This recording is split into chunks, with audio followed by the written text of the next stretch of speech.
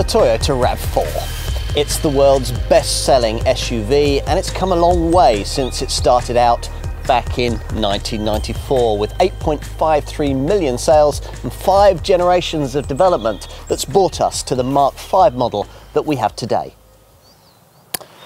With this first RAV4, Toyota redefined what a car of this kind ought to be. The company didn't follow the usual ladder frame chassis construction then common in the class, but instead launched the first monocoque bodied SUV in the segment, which meant that it was the first one that didn't lurch about alarmingly when shown a corner. Fast forward a quarter of a century to this fifth generation version, and once more you find Toyota keen to innovate. Most mid-sized SUVs of this sort prioritise diesel power, but this Japanese brand wanted to set a new standard having experimented with a self-charging hybrid engine in final versions of the previous generation model, the company has standardised it here, which makes this car in its own way as much uh, a standard setter as that one was. The RAV4 these days, though, is, as you can see, a larger, more expensive and more upmarket proposition. Aspirations that the second generation version of 2000, the Mark III model of 2005 and the Mark IV design of 2013 all struggled to justify. This time around, though, things look more promising thanks to a sophisticated Lexus derived drivetrain and platform, plus a sense of quirky style we haven't really seen since the original car of the 90s. Toyota says that the more involving drive dynamics hark back to that contender too. We'll see. What's certain is that this SUV is safer, better equipped and considerably more premium than its direct Mark IV predecessor. Not for nothing is it America's best-selling car. In our market, it's more of an individual choice, but Toyota reckons potentially a very clever one. Are they right? Let's find out. Toyota doesn't make boring cars. Well, it doesn't make them now, anyway. It certainly used to prior to company CEO Akio Toyoda's massive shake-up of the brand back in 2014. That change didn't come soon enough to save the previous fourth generation RAV4 from dynamic mundanity. But I'll cut to the chase and tell you that it's made a big difference to this replacement model thanks primarily to the provision of an all-new GA-K platform that's a massive 57% stiffer than the previous one. All of which I'm pleased about because otherwise my expectations here might not have been particularly high. The truth is that the driving experience served up by most mid-sized SUVs is about as engaging as an afternoon spent creosoting your mother-in-law's garden fence. And if to that you add the ponderous extra weight of the hybrid drivetrain that all RAV4s for our market now have to have, you'd think that the portents might not be particularly good. But stiff, sophisticated underpinnings can make quite a difference, as they do here. That chassis uh, provides for a lower centre of gravity, which helps to offset the downsides of the extra weight. And bolted to it is a much improved double wishbone rear suspension setup that delivers cornering composure with supple damping that smooths out all but the nastiest potholes and ruts. Is it all enough to make this RAV4 the engaging steer its 1994 predecessor was? To be fair, that's a big ask. These days, this is a much larger and heavier car, and it still uses a steering rack that's light on feel and feedback, despite recent attempts at improvements. That said, though, what's served up here is a big dynamic improvement on the forgettable experience that you got at the wheel in the previous generation model.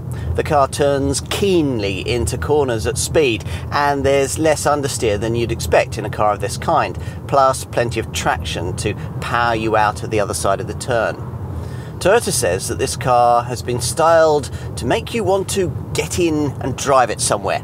And for the first time in a couple of decades in a RAV4, there's at least now the chance that if you do so here, you might actually rather enjoy the experience.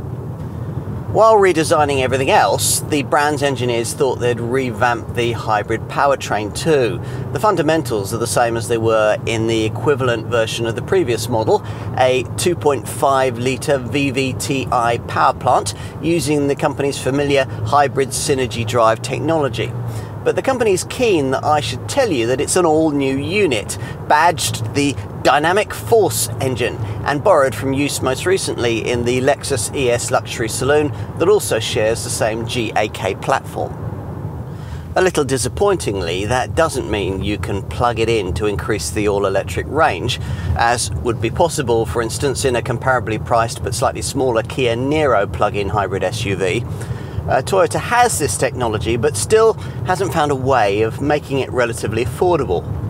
So, the company is continuing with what it likes to call a self charging hybrid system, though now at least a more efficient one. Using this setup, the normally aspirated power plant runs with both direct and indirect injection, now uses the more efficient Atkinson cycle, and is paired to a redesigned epicyclic geared hybrid system. On all models, the Dynamic Force engine puts out 176 brake horsepower, with the rest of the output provided by electrification. The two-wheel drive variant that I'm trying here gets one electric motor uh, mounted on the front axle and puts out a combined total of 215 brake horsepower, enough to allow this version to reach 62 miles an hour from rest in 8.4 seconds en route to 112 miles an hour. Toyota, though, expects most customers to pay the extra for the all wheel drive i 4x4 system, which adds a further electric motor on the back axle, upping total power to 219 brake horsepower and improving the 62 mile an hour sprint time to 8.1 seconds. Okay, so the so called E-Four system that creates isn't really a proper 4x4 setup. Uh, for a start, it comes with a very pronounced frontward power bias, but it'll be enough to deliver the extra winter traction that many owners need.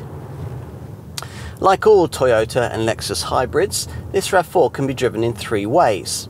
By the electric motors only, as is the case from start off for up to 1.2 miles, uh, with just the engine, if you're giving it full throttle, or more usually with a combination of both. During deceleration and under braking, the engine switches off and both electric motors act as high output generators, recovering kinetic energy that automatically recharges the batteries for the next time the hybrid system is able to switch back to electric only mode.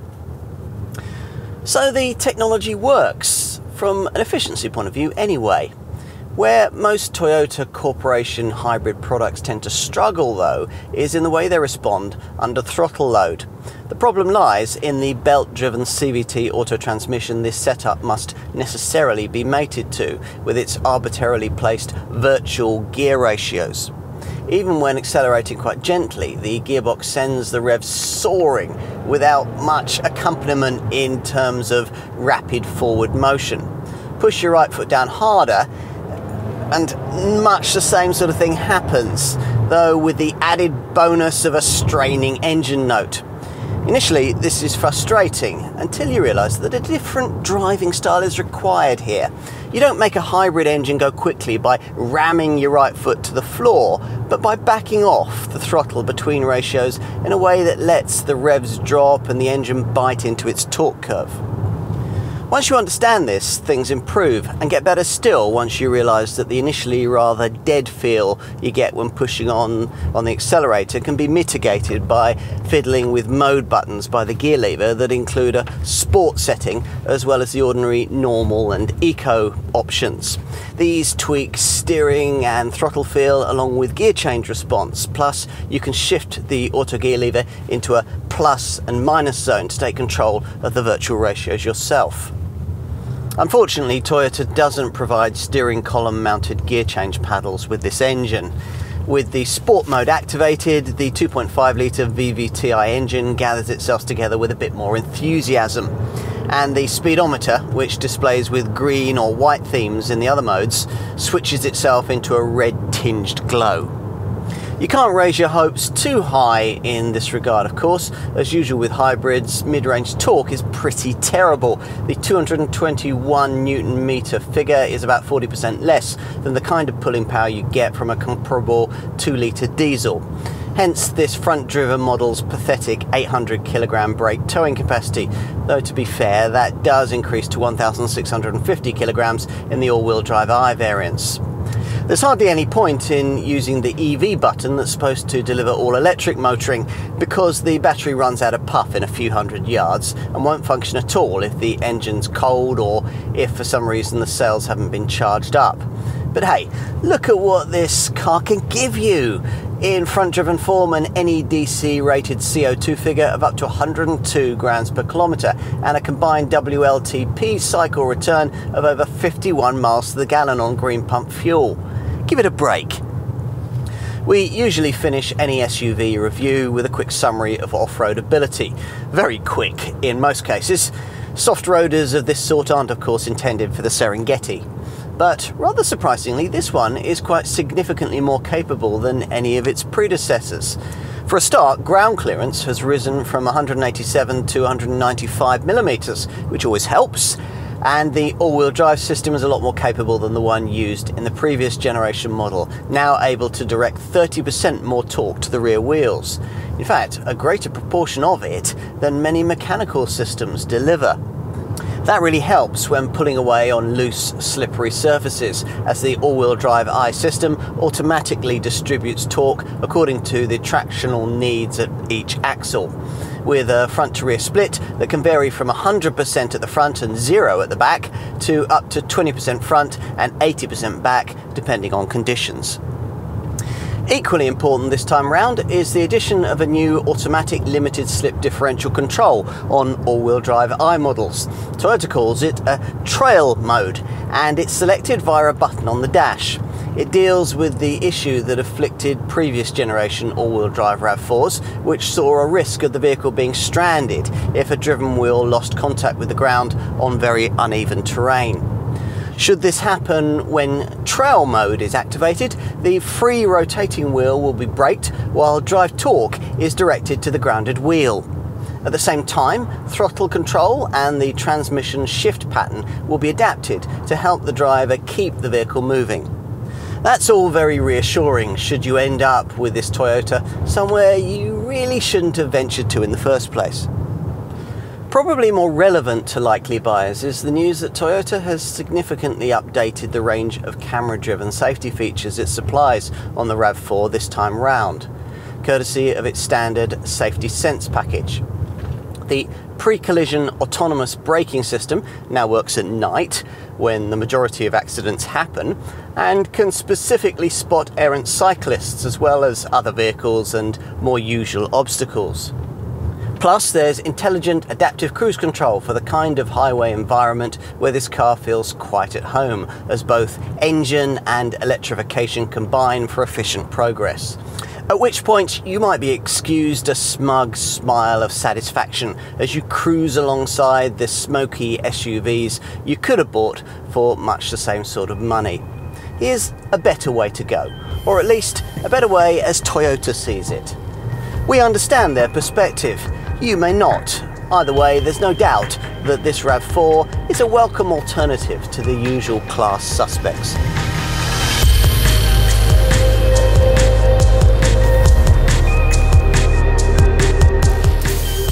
I want people to love this car, says its chief engineer Yoshikazu Saiki.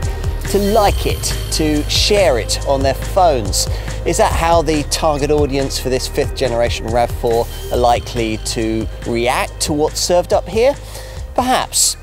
Lower, wider and more angular, it certainly has a degree of character and individuality we haven't seen in RAV4 design since the 1994 original. Yet it still looks accessible. A RAV4 must never be too big and bulky. Buyers have always looked at one and thought, yes, I could drive that. Yes, I could park it. And yes, that would look rather good in my driveway.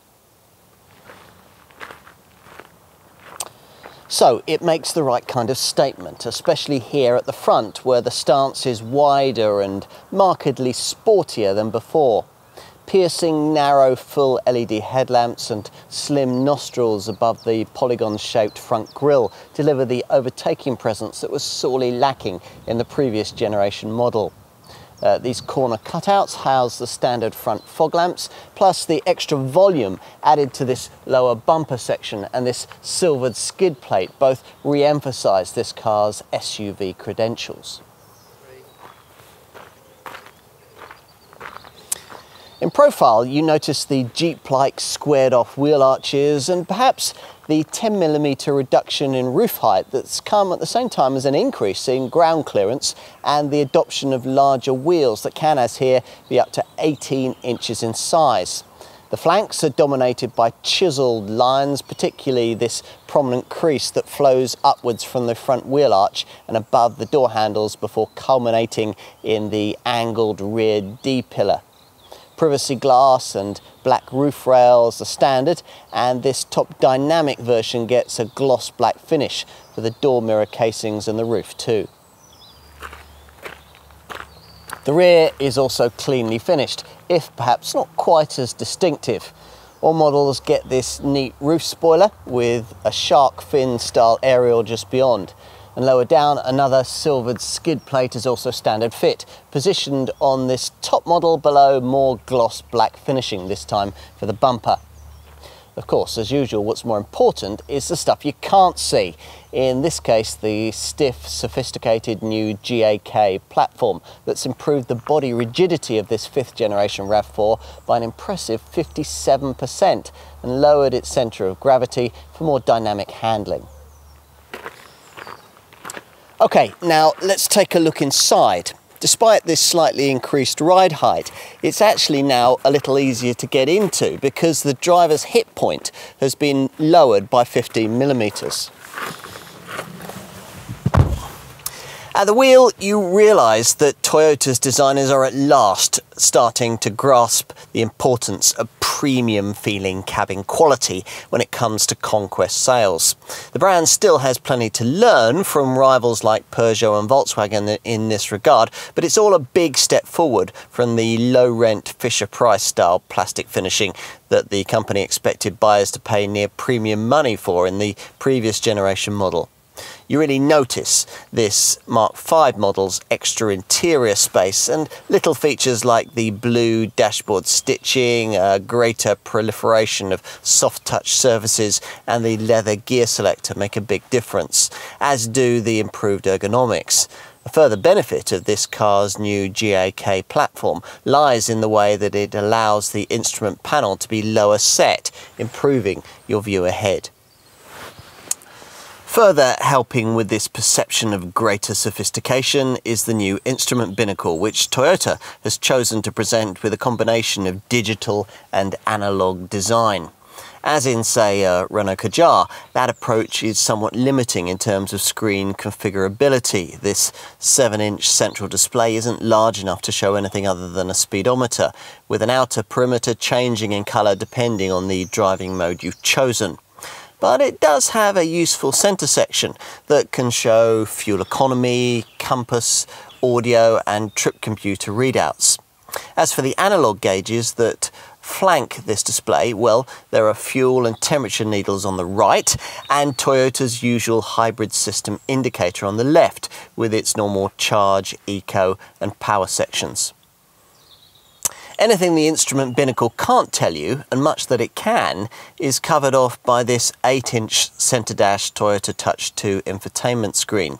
It deals with the usual DAB audio, Bluetooth and online connectivity options, plus if you avoid entry-level trim, there's also navigation too. If you've read reports on this car, you'll have gathered that the brand has been criticised for this setup, which to some extent we can understand. The graphics aren't the sharpest. Um, you can't have Apple CarPlay or Android Auto smartphone mirroring. Uh, there's no back button to help you navigate through the menus. And there's no lower rotary controller, you know, the sort of thing that you get in a rival Mazda CX-5 or uh, BMW X1 model to help you more easily select screen options without taking your eyes off the road. Having said all that, we vastly prefer this infotainment setup to the much less intuitive Honda Connect system used in this car's closest rival, the CR-V Hybrid. This monitor is nicely situated directly in your line of sight at the top of the dash and we're pleased that it retains the physical knobs that quite a few rivals make you do without so you're not left trying to stab away at the touchscreen.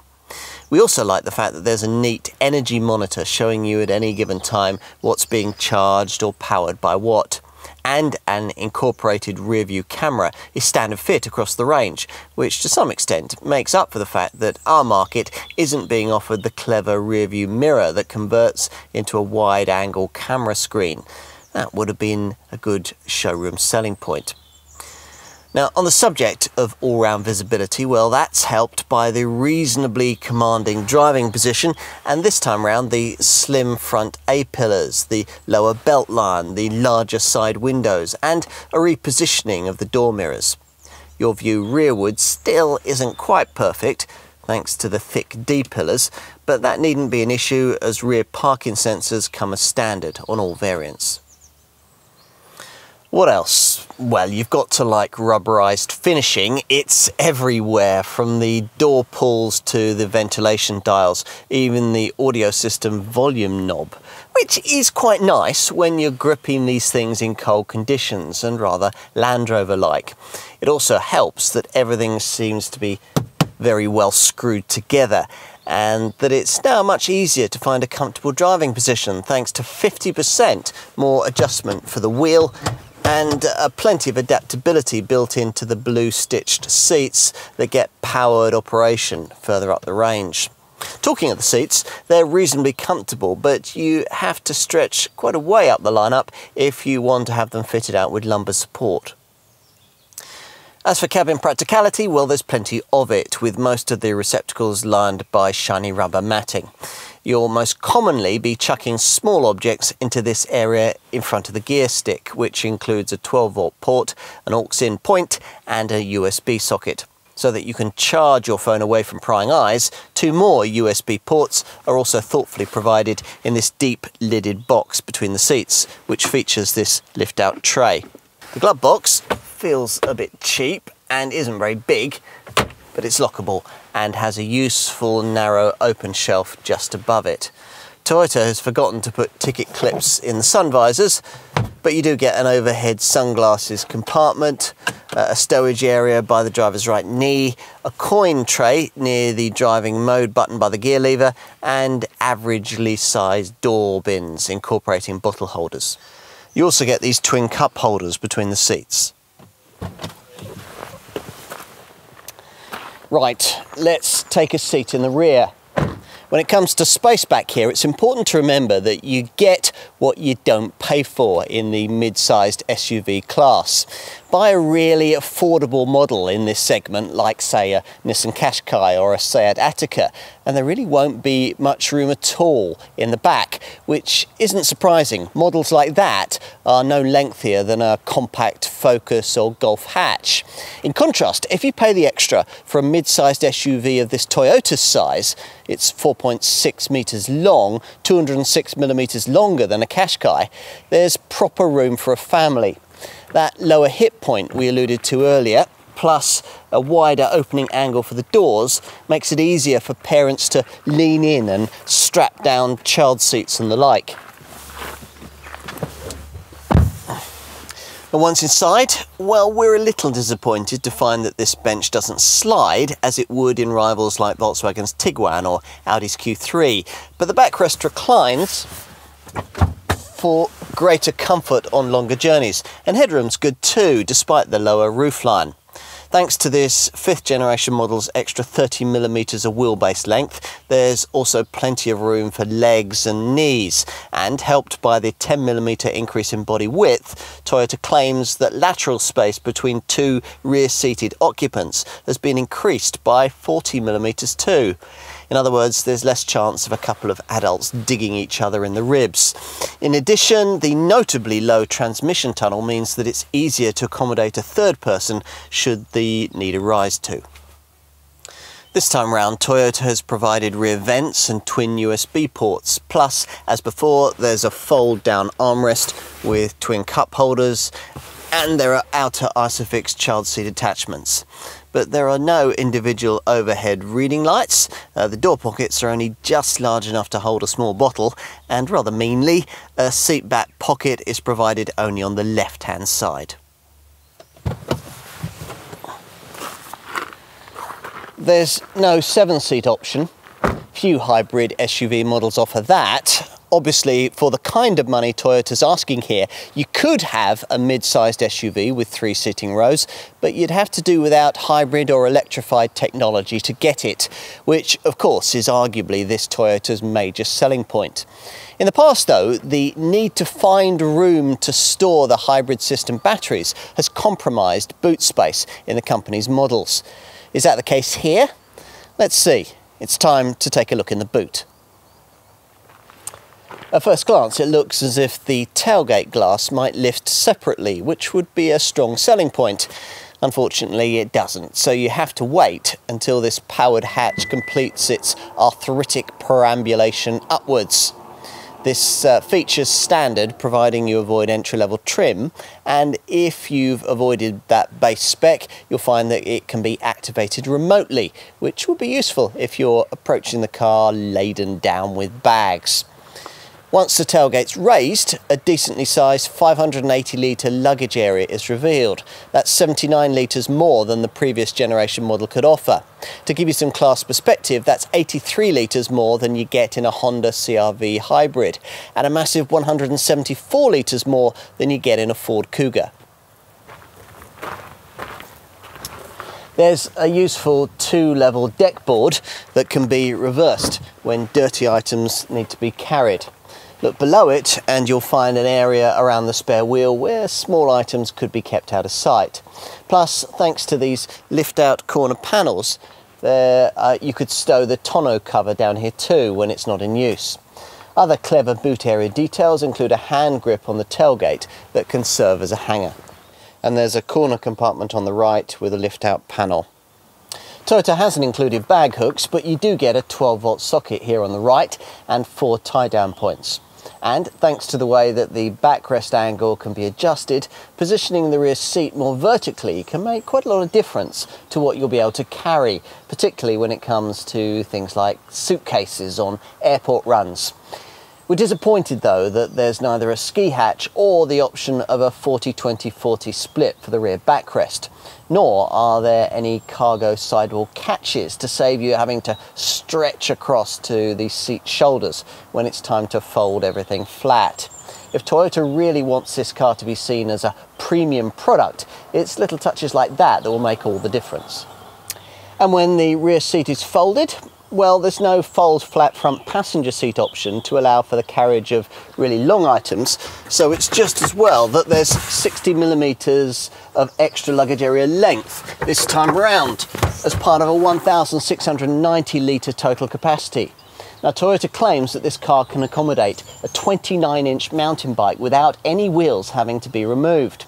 It's just a pity that the area provided isn't quite flat. There's 1,189 litres of space if you only load to the level of the tonneau cover, but that's still enough to take 10 carry-on suitcases, one more than you'd be able to take in that rival CR-V hybrid, and two more than you'd be able to carry in a Mazda CX-5.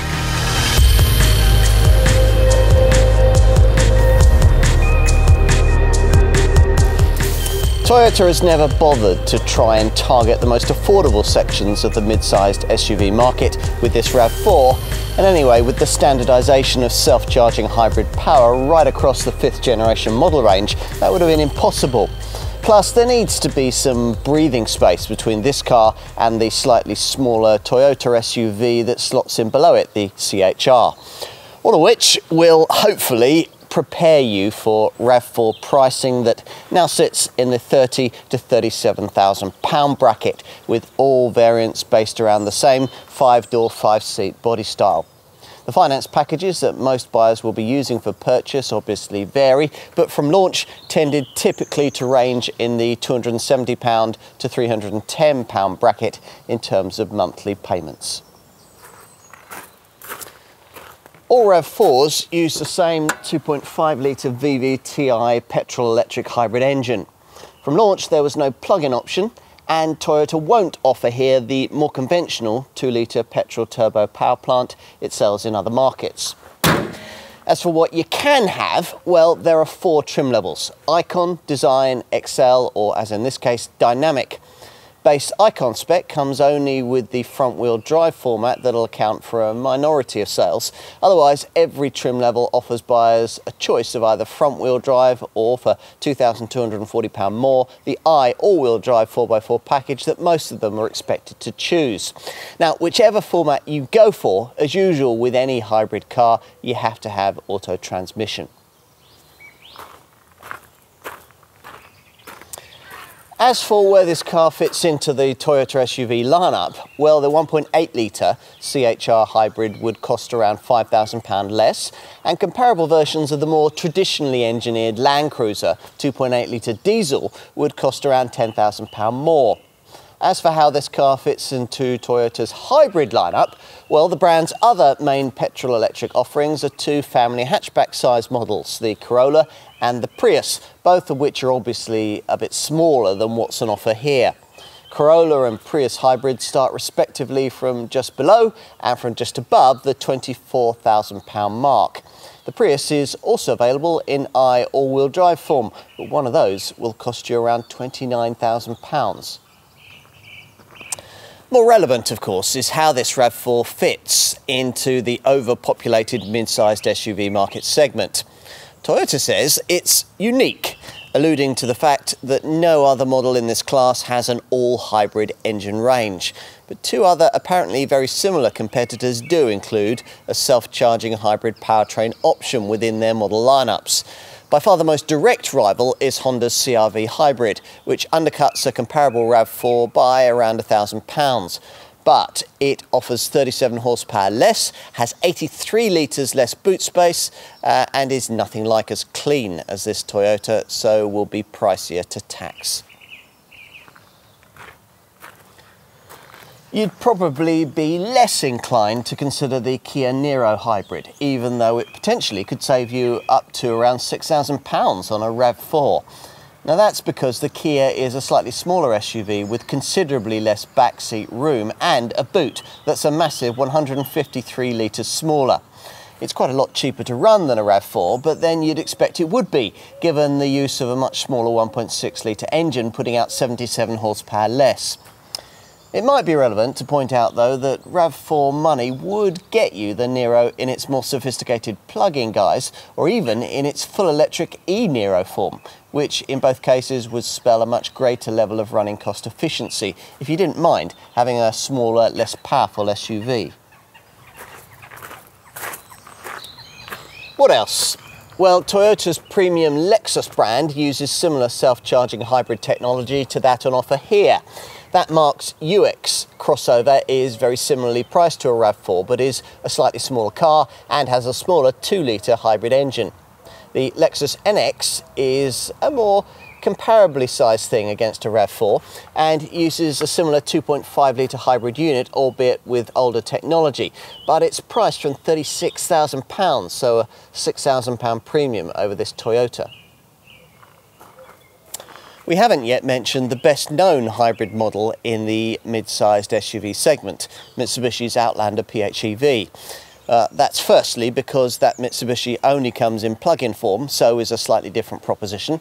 And secondly, because it's vastly more expensive to buy than this Toyota. Uh, prices start at around £37,000 and you get much less interior space. You might also be interested to know that you can get hybrid technology in Korea's mid-sized SUVs, the Kia Sportage and the Hyundai Tucson, but only as part of a diesel hybrid power plant that's not especially clean or economic and is only offered on top of the range models in the 30 to 35,000 pound bracket. If you're not hung up on petrol electric hybrid technology, or simply not convinced by it, then there are, of course, lots of other mid-sized SUV options, nearly all of them diesel powered. For something of a comparable size to this RAV4, you'd need to be looking at the larger models in this segment, uh, mid to high spec versions of cars like the Mazda CX-5, the Volkswagen Tiguan, the Renault Koleos, and the Jeep Compass would all fall exactly in this RAV4's price span. Bear in mind though that the standard automatic gearbox you get with this Toyota usually costs extra with these models, so remember to factor that in if you're doing price comparisons. Enough. Let's say that you've considered all the options and having done so decided that there's nothing quite like a RAV4. Once you've reached that point, news of generous levels of standard equipment might be enough to sway you Toyota's way. So is that what's provided here? Let's see. As we mentioned earlier, the range kicks off with Icon trim, which gets you 17-inch alloy wheels, parabola LED headlamps, front fog lamps, auto headlights and rain-sensing wipers, roof rails, uh, privacy glass, rear parking sensors, a rear spoiler, uh, and power folding heated mirrors. Plus there are front and rear skid plates, a shark fin style roof antenna and an alarm immobiliser. Refreshingly, you also get a standard spare wheel, an important SUV feature that many segment rivals make you do without. On the inside, there's dual zone air conditioning, a three spoke leather multifunction steering wheel, and an 8 inch Toyota Touch 2 multimedia center dash display that incorporates a reversing camera, lets you Bluetooth in your smartphone, and provides access to a six speaker DAB stereo system. There's also a drive mode select driving mode system, an auto dimming rear view mirror, and reclining rear seats. You can also talk to your dealer about a range of connected services that you'll be able to access via a free downloadable app. These include the kinds of features that you'll find from rival brand apps. Uh, for ex example, uh, send to car navigation, a find my car feature that'll help if you've forgotten where you parked, and a maintenance reminder. Plus, Toyota has added a driving analytics section and a last mile guidance feature. Now, getting back to the RAV4 trim lineup, the vast majority of buyers will ignore entry-level Icon spec and start their perusal of the range from the next rung up in the trim lineup, Design spec, if only to get themselves the option of four-wheel drive. A design trimmed RAV4 gets some significant additions. Larger 18 inch alloy wheels, a powered tailgate, keyless smart entry, front parking sensors, and the addition of navigation to the Toyota Touch 2 center dash infotainment system. If you want to go further, Excel spec adds brighter projector LED headlamps with washers, a windscreen wiper deicer, heated front seats, a heated steering wheel and Alcantara door trim, plus puddle lights, blue ambient lighting for the front of the cabin and power adjustment, lumbar support and memory settings for the driver's seat, along with some extra camera driven safety features that we'll get into in a minute. Excel buyers also get full leather upholstery, which on request can be swapped from black to either grey or beige. That only leaves the top dynamic variant that we're trying here, identifiable by the gloss black finishing used for its roof, its door mirrors, its bumpers, its rear spoiler and its wheels. Inside at this level you get black interior headlining and front sports seats, though for some reason the leather they're trimmed with reverts to the synthetic variety. As for extra cost features, well, it's probably worth pointing out that the most significant option package, uh, which bundles together a nine speaker premium JBL audio system and a panoramic surround view camera setup, uh, well, that can only be ordered if you've chosen either Excel or Dynamic spec. If you want a sunroof, there are two choices. Uh, there's a sunroof offered as a standalone extra on Excel or dynamic models, or on those variants, you can have a Ritzia power opening panoramic glass roof. But for that, you have to have also gone for the JBL audio option. Right, what else? Well, you'll almost certainly be paying your dealer more for your choice of paint colour. Only this top dynamic specification gets metallic paint as standard. We've got white pearl here. There are various different 18-inch alloy wheel designs too. It's also possible to add chromed side sills, a chromed rear lower boot garnish, wind deflectors for the side windows, and a hood deflector for the bonnet. If you want to smarten up the interior, uh, you can upgrade the upholstery on all models. There's a choice of either saddle brown or black with grey or black leather. Uh, there's also a mix of leather and black Alcantara with saddle brown or grey contrast piping and stitching. As for practicalities, well, on Excel and dynamic spec models, you can, uh, very unwisely, uh, swap out the standard spare wheel for a tyre repair kit if you want to free up some space beneath the boot floor. You can also add in aluminium scuff plates, uh, textile or rubber floor mats, and an ashtray if you haven't kicked the habit. Uh, for the cargo bay, there's a boot liner, a vertical cargo net, a dog guard, and a rear bumper protection plate. You might also want to pay extra for door handle protection film, side mouldings, front and rear mud flaps, door edge protectors and a long life bodywork protection package. And of course you can add the usual roof cross rails that will allow you to add things like roof boxes and bike holders. Enough on options. What about the safety standards of this fifth generation RAV4? Well, they're very high thanks to Toyota's decision to include an upgraded second generation version of its Safety Sense package as standard across the range. Most of the features work via this single lens camera and millimeter wave radar, both embedded here at the top of the windscreen into a unit that's now been made smaller so as to give the driver a wider field of vision. Let's talk you through what's on offer. Probably the key inclusion is the brand's pre-collision system with pedestrian detection autonomous braking setup, now revised so that it works just as well at night or in situations of poor light, which are, after all, the kinds of conditions in which most accidents take place. Uh, here, the system's radar scans the road ahead in search of potential collision hazards as you drive at speeds of between 0 and 112 miles an hour. Like most autonomous braking systems, this one can detect people, animals, solid objects or other vehicles that might stray into your path. And in daylight hours at between 6 and 50 miles an hour, it can specifically detect errant bicycles too.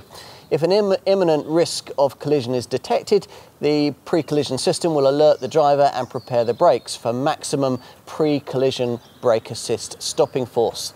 If the driver fails to act, autonomous emergency braking will be triggered, which can reduce vehicle speed by up to 25 miles an hour, potentially bringing the car to a stop and avoiding an impact. But that's just one of the safety sense features. There are quite a few others. Lane departure alert with steering assist, for instance, which lets you know if the car is wandering over road markings, and if it is, will gently apply subtle steering lock to ease you back to where you ought to be in your lane. Then there's RSA Road Sign Assist, which pictures road signs as you pass and displays them on the dash. Automatic high beam dips your headlights for you at night to avoid dazzling oncoming vehicles. And IACC Intelligent Adaptive Cruise Control automatically regulates your speed on the highway to maintain a safe gap to the car in front, varying as necessary to suit speed and congestion. The intelligent bit of the IACC system relates to the way that the windscreen camera can recognise new speed limits on major roads and let the driver adjust his or her speed to keep within the limit simply by using switches on the steering wheel. So you need, need never be caught out by a speed camera again. In theory, anyway. There's also an eCall emergency system that'll automatically alert the emergency services with your exact GPS location if the airbags go off. In any completely new modern era product of this kind of price these days, you also expect the potential for a degree of autonomous driving support, which this RAV4 provides courtesy of its standard lane tracing assist function.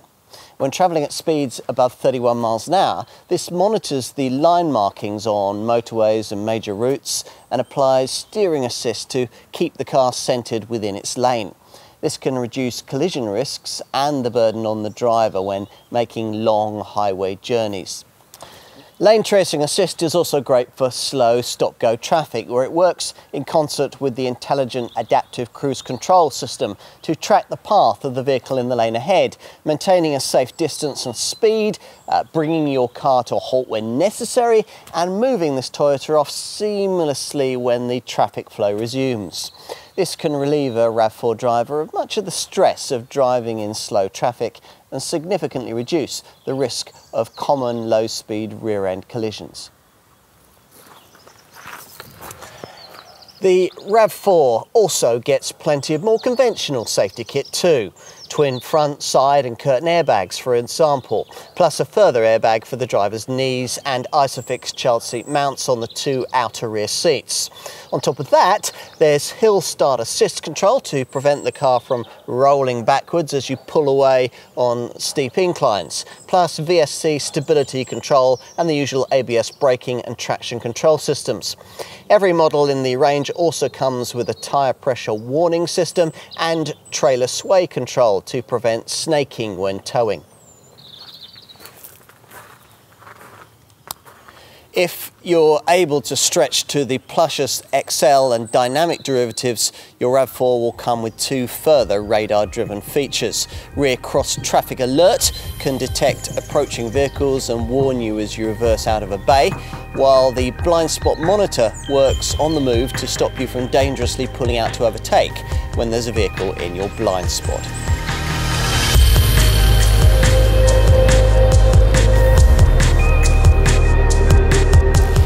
This is a self-charging hybrid, which is Toyota's way of saying that you can't plug it in. The only other mid-sized petrol-electric SUV that's really similar to this one is Honda's CR-V hybrid. That car produces very similar fuel economy figures to this one, but is way off in terms of the cleanliness of its CO2 emissions. Some figures will illustrate the point. The two-wheel drive RAV4 I'm trying here would manage up to 51.2 miles to the gallon on the combined cycle and 102 grams per kilometre if fitted with 17-inch wheels. Switch to the all-wheel drive i RAV4 variant and you're looking at 48.7 miles to the gallon on the WLTP combined cycle and at NEDC rated 103 grams per kilometre of CO2. For the CR-V hybrid, the CO2 figures vary between 120 and 126 grams per kilometre, depending on the drive format you choose. And that means the Honda suffers significantly in comparison to this Toyota in terms of its benefit in kind tax status where a CR-V hybrid all-wheel drive model has a BIK rating of 26%, for a RAV4 hybrid all-wheel drive i variant it's just 21%. At the time of this test, that meant that over a three year period of ownership, you'd pay £1,687 more in tax to run that Honda than this Toyota. Quite a difference. A self-charging Kia Niro hybrid, which is nominally an SUV, would be cleaner, more frugal and more tax efficient than both cars. But that's only because that Kia is a smaller, lighter model with a smaller 1.6 litre engine, so isn't really directly comparable.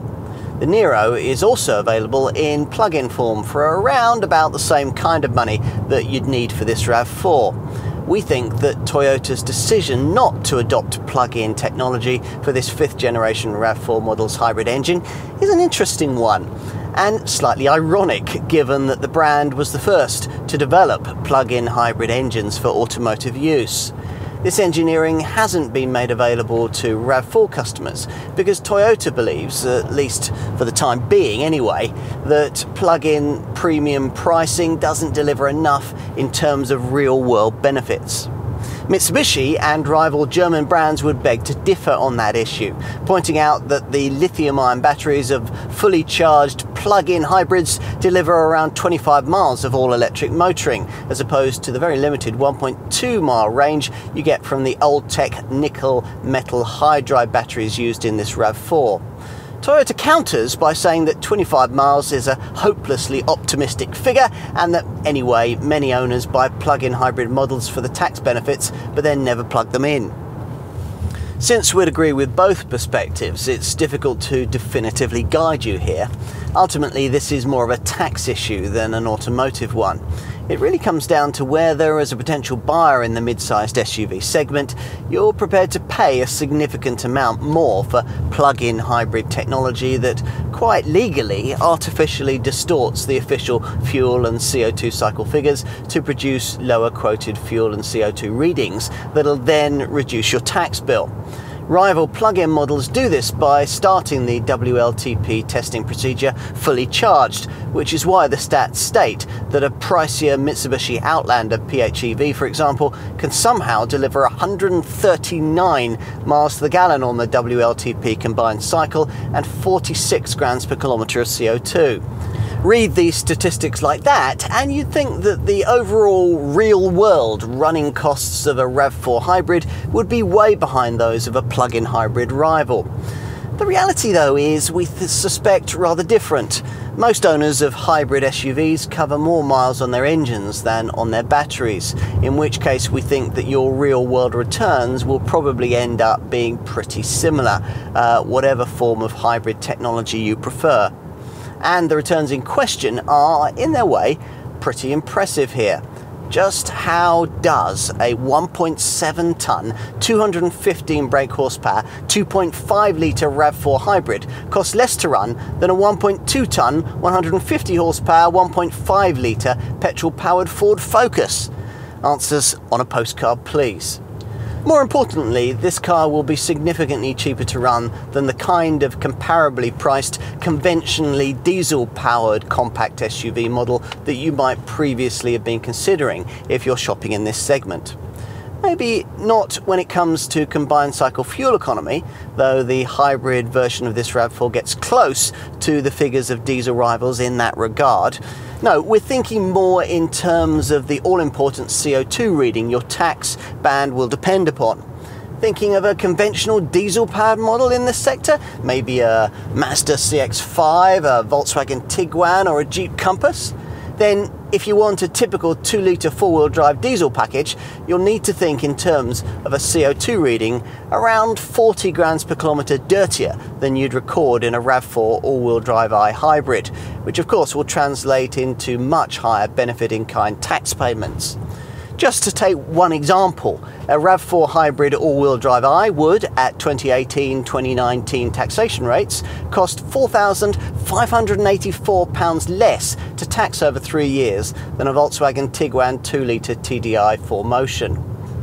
All of that is thanks to clean emissions, though, of course, during much of your urban motoring in a RAV4 hybrid, say when you're inching along in traffic with the engine seamlessly disabled, the EV mode activated, and battery power in motion, you won't be emitting any emissions at all.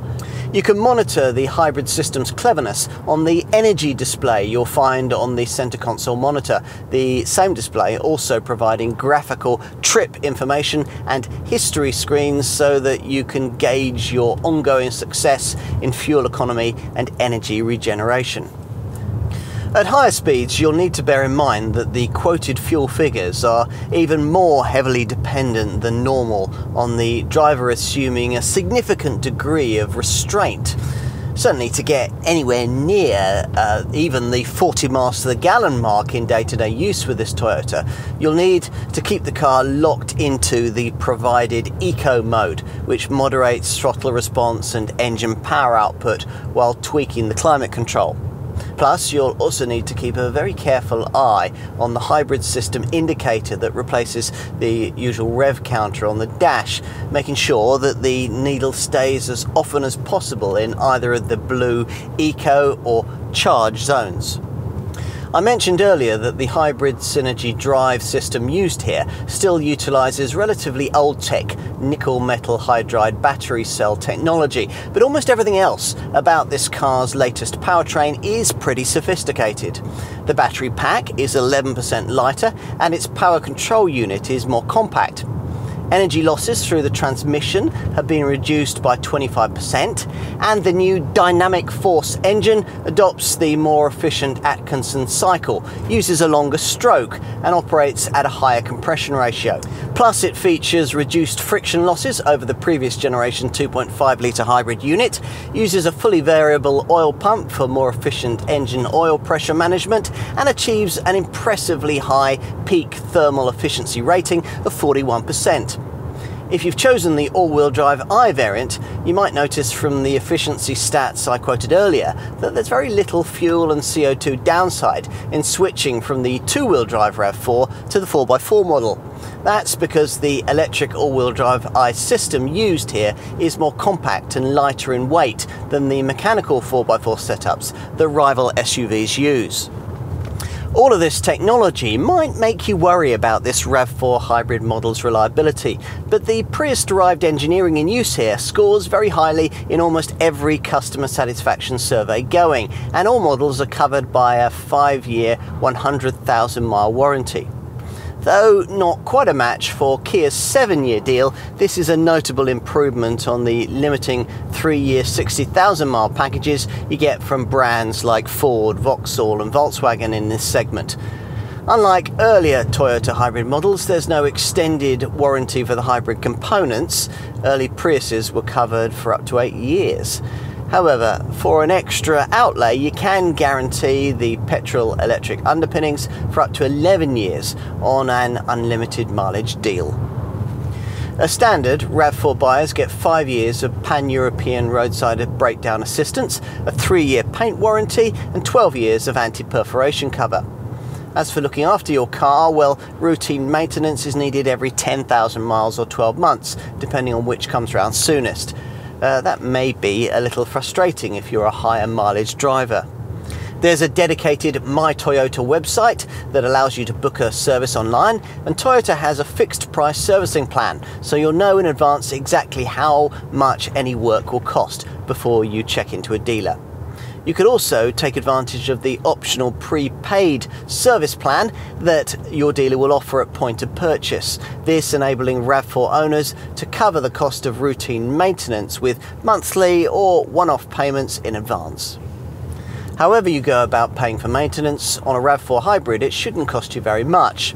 After all, there's no starter motor or alternator to go wrong, no drive belts to break, a maintenance free timing chain, uh, no particulate filter to get clogged up with diesel fumes, and of course, thanks to the CVT auto gearbox, no clutch either. The hybrid setup has a good record for minimising tyre wear and its battery will last the life of the car. Plus, the regenerative braking setup helps extend the life of the brake pads. Over 60,000 miles of driving, the front pads should need replacing only once, while the rear pads and all discs will probably last the full distance of ownership. What else might you need to know?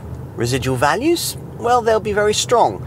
At present, this Toyota is expected by industry experts CAP to retain around 57% of its new price after three years and 60,000 miles. That's premium brand territory. To give you some perspective, the segment average figure is 49%. On to insurance, and we'll start with the two wheel drive models. The Icon version is ranked in Group 25, it's Group 26 for the Design and the Excel, and Group 27 for this top dynamic variant. For the all-wheel drive i 4x4 derivatives, a design model is Group 28 and it's Group 30 for the Excel and Dynamic.